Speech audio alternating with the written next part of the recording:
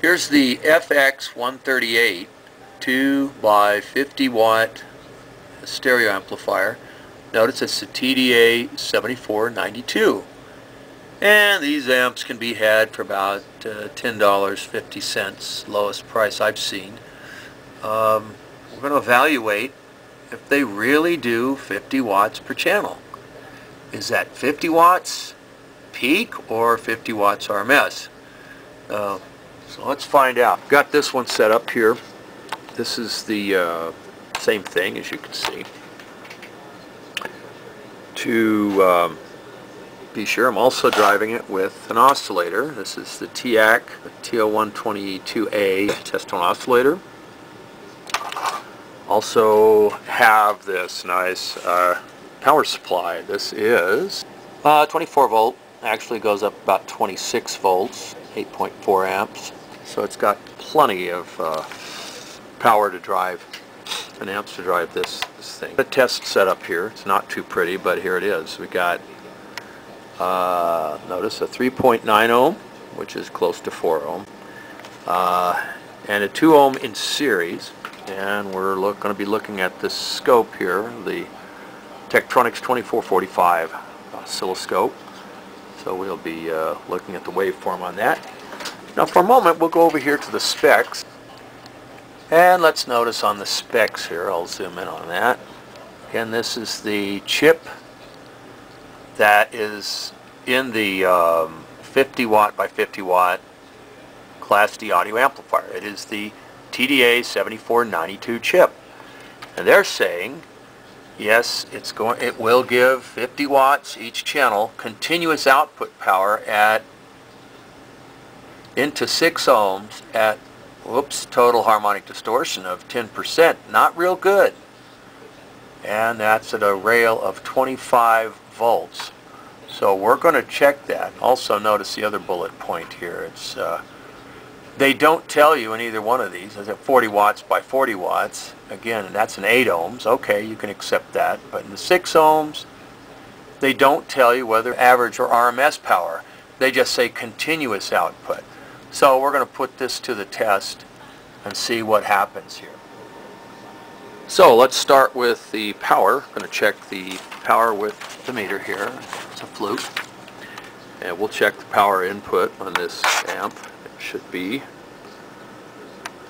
about like right at what input you can see it's 25.12 volts pretty pretty good right there and that's from our power supply here we got again a, a total of 6 ohm uh, load resistance here and we're looking at the waveform of the scope. We'll start out with 1 k-hertz, alright? 1,000 cycles per second.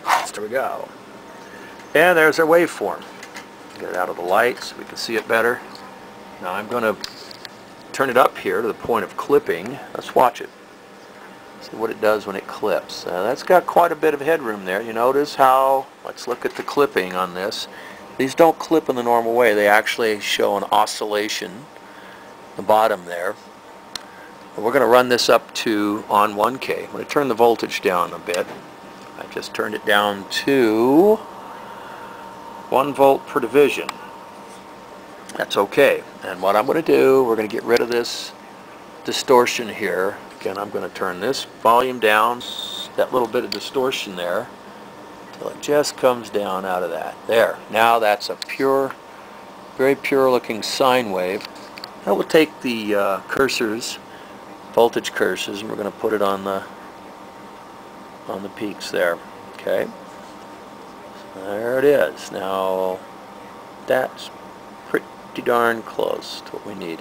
And that then says 34.2 volts peak to peak. So what we do is we'll do a formula, power power formulas is take 34.2, we got to divide that by 2 to get peak to peak down to peak value. And uh, so we divide by 2. Divide by 2. That's the normal way of doing it. That now equals 17.1. So now we're going to get uh, the peak value, okay, so we take 17 e squared over r, we're going to use E squared over R and take this number, multiply it by itself, equals, okay, there it is. Now we divide that by 6 ohms. Look at there, 48.735 watts. That's almost 50 watts. Well, we could call that 50 watts. The difference is this is peak watts. Now let's go back and redo the formula again, only this time we're going to look for RMS value. Okay, again, we look at this, 34.2 volts. And to verify that we still have good power supply regulation, let's check the voltage again. Those resistors are getting mighty hot. And there's 25 volts, spot on. 25 volts at the board, all right? Those resistors are nice and, and toasty. Wow. And the heat sink is not bad not bad at all. Now again this is at 1k all right? 1000 hertz. So again we're looking at this waveform undistorted. That's as high as it goes at 34.2 volts. Now we're going to look we're going to calculate the RMS value 4.2 divided by 2 because we want peak value on this. Okay, there it is, 17.1.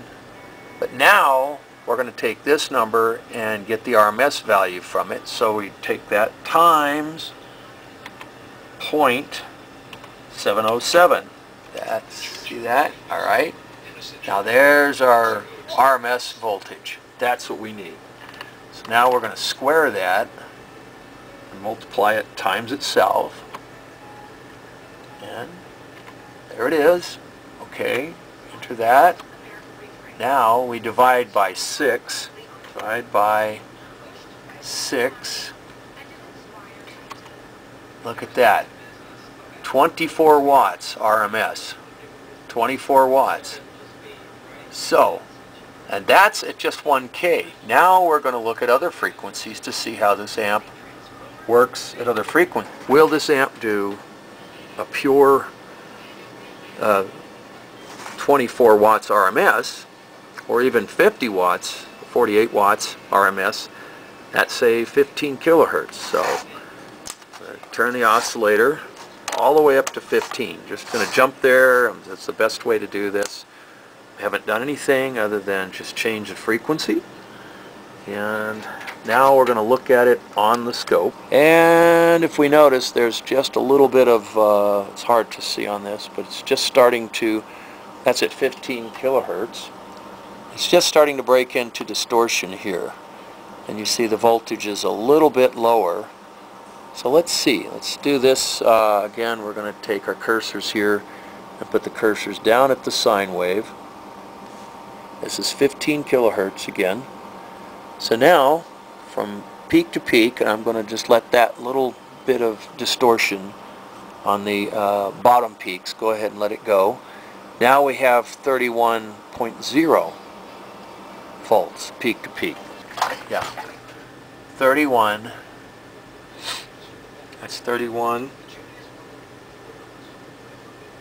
volts peak value. All right, we'll do peak value for starters. That means we take 31 and we multiply it by itself. It's uh, E squared over R, 31 volts. There it is. That's right, we got to divide by 2 to get the peak value, not peak to peak, because that's not what we want here. And there's 15.5 volts, right? Alright, so now we're going to take that and square it uh, times itself. Okay, there's that. Now divide by 6, which is our output impedance or resistance. There's 40 watts. Okay, that's 40 watts peak. 40 watts peak, not RMS. So now we're going to do the RMS value. Let's see what that comes out to. So if we take, again, uh, the 31 volts, or and it's uh, you divide it in two, that's 15. Now we take get the RMS value, 50, RMS value of 15.5, and let's see what that is. And you multiply that times 0.707. Alright, there it is. So now we take this number multiply it times itself. See there? Okay. Then divide it by 6, which again is our resistance. Look at that. 20 watts RMS. There.